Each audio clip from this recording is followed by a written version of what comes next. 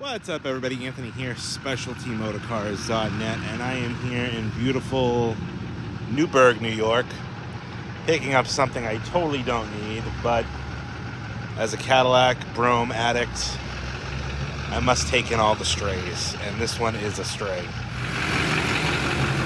Watching too many Big Al videos on YouTube gets me to this point in life, uh, where I am here at Copart, Newburgh not to pick up that thing, uh, but to pick up a Cadillac that I feel needed saving. Not really saving like I'm going to do anything with it to fix it and save it, but save it in the sense that I didn't want to see it go directly to a junkyard or to get turned into scrap metal that quickly.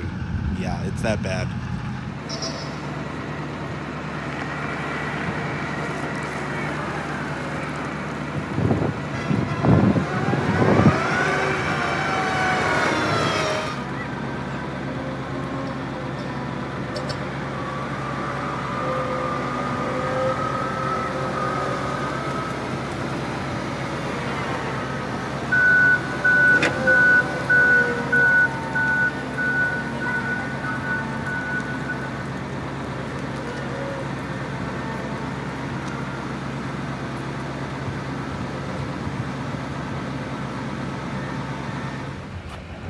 This is the stupidity I get myself into. I've bought a couple Broughams that have had face plants like this, but this one's strictly a parts car, triple black, not a d'Elegance. It's the first time I've seen this car. It's been sitting here at the Copart yard for over a year, um, which is another thing that drives me nuts. They start charging you storage. If you buy a car on Copart, and you don't pick it up within three days, they start charging you storage. It goes $5. So this car, yeah, has been here since 921 of 22. That's how long this car's been here. Over a year, but I didn't pick it up within three days. So it cost me 15 extra dollars in storage. What did I buy this for? Parts. Really, that's it. You know, some of the side cladding. Stainless looks good on this side. Obviously, it's missing some pieces. Real shit paint job on this car. You know, the chrome is decent. Looks like we got a power antenna. Uh, factory hubcaps look pretty good. All the front end stuff is pretty jammed up. Bezel's broken. Headlight's good. Corner light, those are worth money. Junk. Bumpers, junk. Grill, it's got to be junk.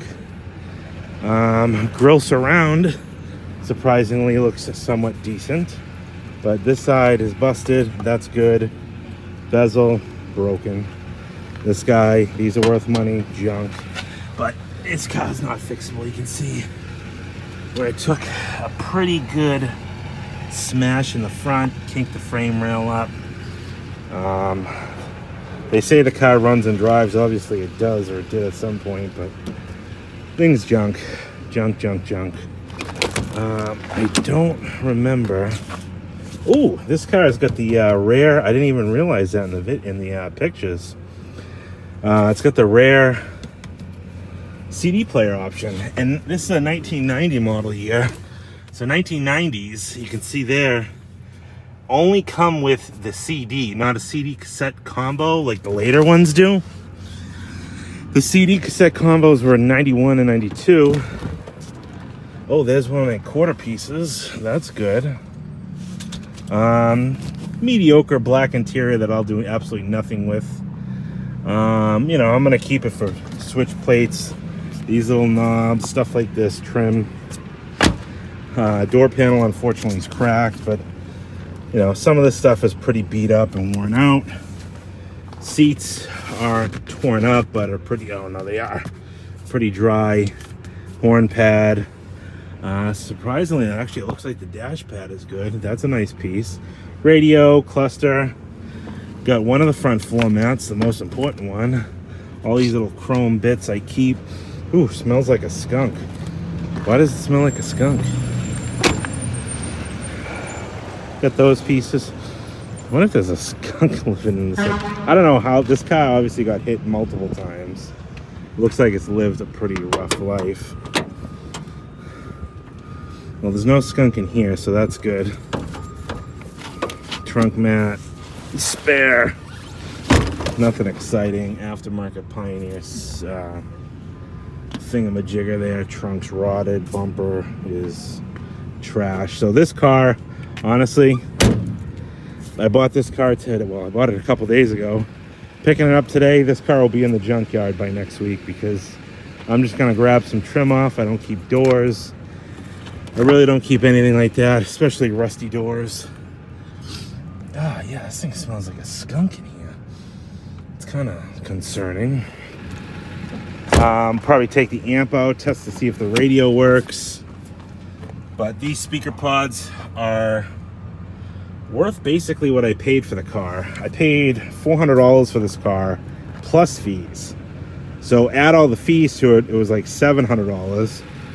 Plus it cost me probably $150 in diesel, plus a $30 vest, plus $15 in storage.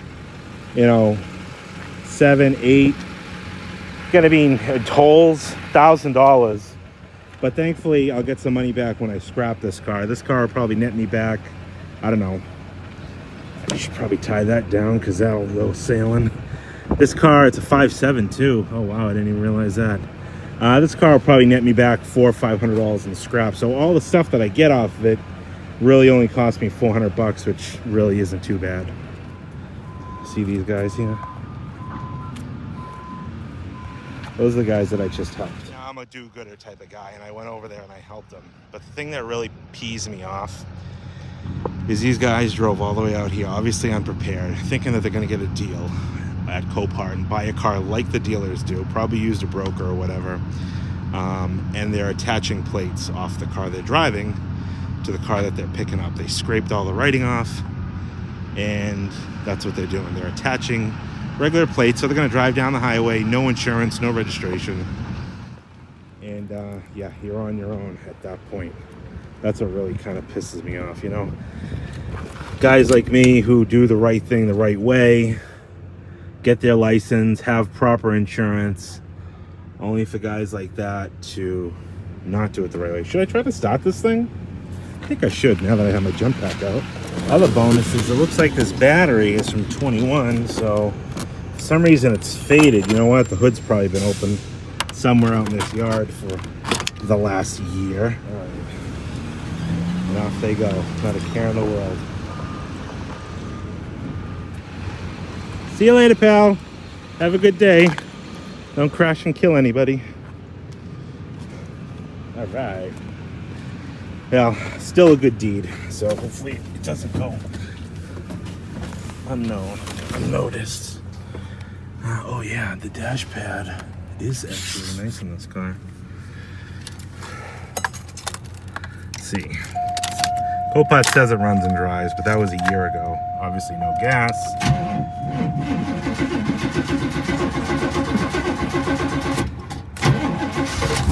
Oh, it runs.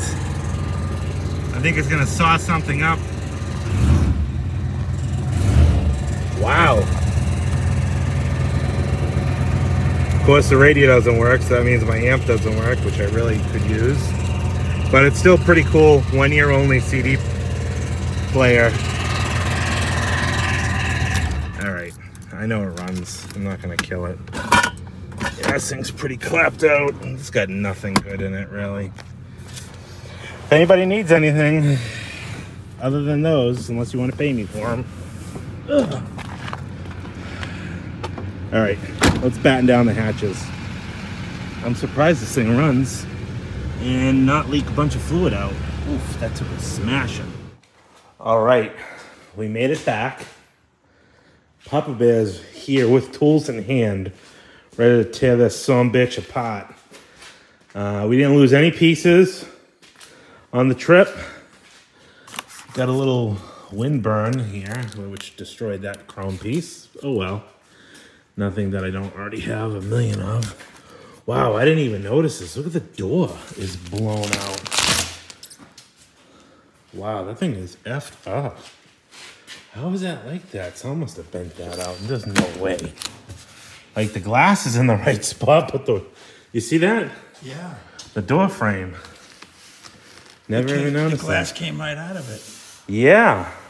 Oh, yeah, there's the frame right there. My finger's going. All right, so we're gonna pull some of this trim, all the cladding, all four hubcaps, clips, tail light, maybe this housing. Vent here. Oh yeah, never mind. Bumper's junk. This is pitted garbage. Anything in the trunk? Oh, not really. Maybe this. Doesn't have the oh pull down's broken too, so that's junk. Wow. This taillight's cracked, but we'll take it anyways. We'll take the clips, take the top trim, because I just used a set of that. Take, take, take. Mirrors are a little wobbly, but I can tighten those up. Take the door latches. Antenna, we'll cut a hole in the fender, take the antenna, antenna bezel, trim, hubcap. Basically, all this stuff up here is junk, though we're gonna take these off. Take the hood emblem, take the headlights, this. You got that? We got it. Let's get to town. All right. Just put power to it. Only to find out that the pull down actually does work. So Papa Bear knows his job now. Gonna yank that out. These filler panels, I've never seen. Fiberglass, plastic. It's like, yeah, like white plastic. Very strange.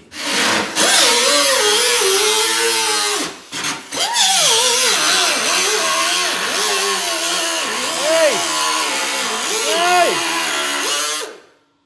Is this how we replace our customers' broken antennas? Yeah, he doesn't care about the fender. Oh, we just make an access panel? Yeah, make it And then we just put the panel back on after? So when it breaks, he can fix it himself. Good All idea. right. Easy.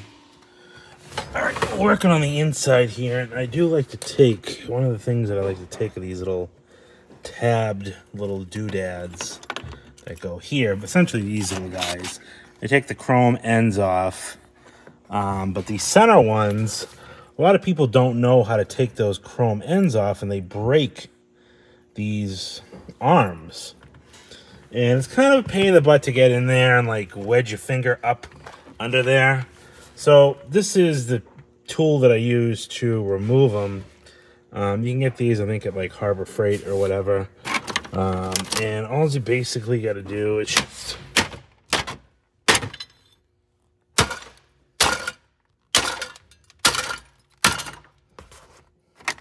creates a little access so you can get in there a lot easier. Um, there we go. That's much better. Eh. What are you hacking on my car? no. Uh, then you can get this little tab, slide it out, and you take your arm out. And I know I've shown you before. Um, this is the amp, this silver guy right in here. It's basically right in here. If you don't want to lay on your back, um, you can use this tab remover tool and essentially do the same kind of motion. And you can just kind of get yourself a little bit of an access hole going here um, to do a removal on this piece.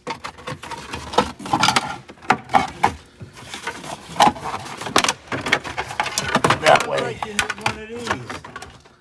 Oh no, I'm not a hack like you are. I don't. I use actual. I get my tools. parts out. Yeah, I use actual tools to correct. This is the um, tab remover tool. Okay. and then I'm using it now. It's a dual tool for the tabs, and now it's for the amp.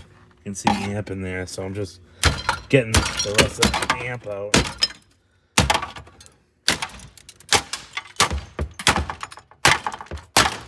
There we go. Total destruction. No, it's right there. I didn't damage it. Unfortunately, this header panel is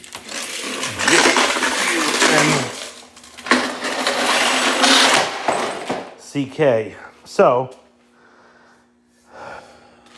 probably snap it in half to try to get it to fit inside the trunk. Well, I'll take care of that. Papa Bear's gonna chudo chop. Hey, let me at it. He's gonna cut it up. Come on. What, am I get, what else you gonna do? Step on it.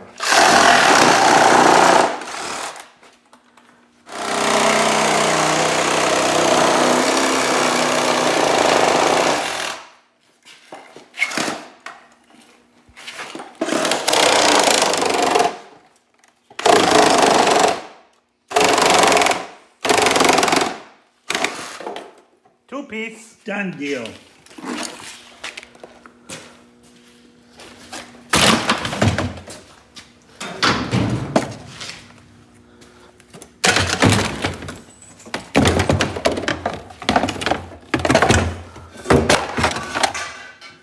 All right, she is stripped. As far as stuff I took, it's a very, very small pile. A couple other little bigger things, cladding and whatnot, but um, roof trim. I still gotta get the hubcaps off. Didn't have a key, but it's getting late, so um, junkyard will be here tomorrow at some point, but I'll have time to get the caps off. Uh, header panels in the trunk. Took the mirrors, took the door latches on the front as pretty, pretty rare. Mirrors, door panels are garbage. I have so many of these switches. This one's broken anyways. Probably take the wiper switch out, but like in my life, I've never had to replace. I think maybe a couple wiper switches, but you know, so that's you know, there's things on this car that people be like, oh, why don't you take that? Like these pieces stainless. Very rarely do I need to replace these. Maybe if it's got a little ding or something like this, but I have so many sets. Same with these. You know, I, and I do not sell parts on eBay or to the public. I can't deal with it because people try to nickel and dime you for parts and they want this and they want that and how much is shipping. So here's the trunk. Even after I looked at it, the ornament's pretty, pretty wiped out. Um, corner lights I already showed you junk, cracked, just too bad. You know, but the door panels, this one's got a poked hole in it. The other one did. The grill's broken.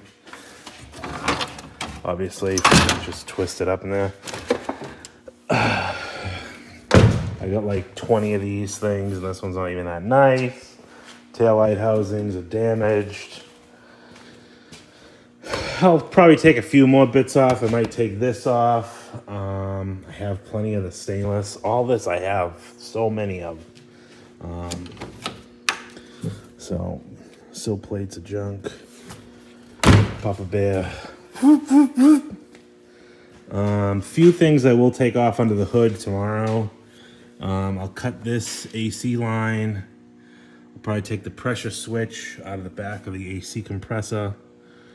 Um, you know, but other than that, she's ready to come sailing off, Dad. You think we should take it off without taking the ramps out? Yup. No. Yup. Yup. Yup. Yup. No. Yup.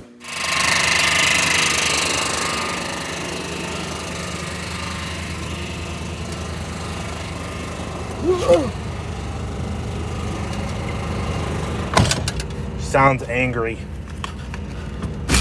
Very angry.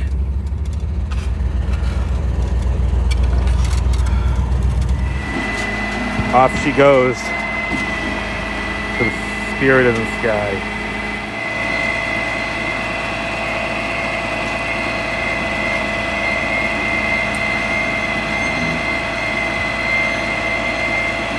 Screaming the whole way. Don't kill me. And there goes two junks off to a better place. There she goes. Off to greener pastures. Two less Cadillacs in the world. But don't worry. I got many, many more. I should have known from the beginning that I shouldn't have bought that black car. I ended up paying $700 for the car. plus going out there, plus having to buy the stupid vest, which I got now 18 of. Uh, storage, diesel fuel was 150 bucks in diesel to go out and back. I was into the car for a thousand bucks. They just gave me $475 for scrap. I got what I wanted, but there wasn't a ton of good stuff on that car. And if I showed you the car stripped, you would have been like, oh, geez, you forgot to take whatever off. I take off things that I know I need, like things that I've used before or needed. Door latches, the front door latches, super common. Power antenna, granted, it needs to be rebuilt, but I can rebuild it. But it's good to have a rebuildable core. Uh, the radio amp, same thing. It was junk, but I can get it rebuilt. Uh, the cladding, unfortunately, the high dollar stuff on those cars is your front end, your corner lights, headlight bezels, front bumper, header panel, all that stuff was junk, smashed to smithereens. Same with the back. Both rear taillights were damaged, even though they were whole. The tabs are broken off. Um, rear bumper impact strip, junk, missing. The side moldings, I had, you know, an incomplete set. Uh, that stuff I take off and I keep. I'll show you the small pile of stuff I actually took off that car. This here is a small pile of things I took. Both door mirrors. These are the front door latches. I take those because it's very common for one of the tabs to break off. Some of the stainless, a few of the rocker panel pieces that were there, antenna, map lights, rear third brake light, um, the tail lights, you can see here, tab's broken off. I have it screwed on that side so I won't lose it. Might try to epoxy it. Cluster, even though it reads 130,000 miles. These door speaker pods, those are probably worth, surprisingly, 500 bucks. Uh, headlights, radio. Um, I got the dash pad and stuff like that too. Some other bigger things. But anyways, so I ended up, it cost me like $500 in a day of my time for that amount of parts It wasn't worth it. That's the problem with Copart is the car that cost me $400, the fees alone on top of that and the aggravation and the storage and the title mailing fee or title pickup fee, 20 bucks. Bullshit. Um, that's where they got you. They nickel and dime you. Even on a night, like a, a regular car, like if you bought like a $5,000 car, their fees at their the auction is probably another thousand dollars on top of that. And you're buying it sight unseen. I can buy a car from like Manheim or ADESA, and the fee's like 350 bucks for that, you know, say $7,500 car. Um, I don't know. Anyways, that's my rant. That was my parts car. It's gone to Cadillac Heaven along with the DeVille. The DeVille I actually bought. Another sad story and a total waste of money. I bought that DeVille strictly to use the interior for my burnt coach builders convertible that I got down in Florida. The day after I bought that on Copart for the same seven, eight hundred dollars, uh, thankfully I bought that locally. Um, my buddy George from Elite Motor Cars, uh, he had a 2004 DeVille with 40,000 miles, same interior color that I needed, got totaled the day after. So I ended up getting that car from him. So really, I didn't even take the interior out of that car. I took the headlights, some chrome center caps, some random little BS trinkets. Sent that thing on its way. I lost money on that too because I only got 475 bucks for that one. But hey, it is what it is. Anyways, thanks for watching, everybody. We're gonna start working on that coach convertible now that I got George's car uh, here at the shop. Uh, it's right outside, 40,000 mile interior to go into that convertible that had like 40,000 miles. So it's to work out quite well. Uh, I'm excited to get that car put back together. Anyways, thanks everybody for watching. Hit that subscribe button if you haven't already, because the next uh, parts car-ish thing video is going to be putting that convertible together. So thanks for watching.